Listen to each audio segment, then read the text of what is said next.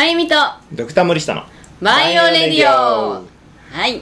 さてさて今週のゲストは、えー京都府の宮津市にあります、えーワインとお宿、えー千歳のオーナーでいらっしゃいます山崎さんにお越しいただきました。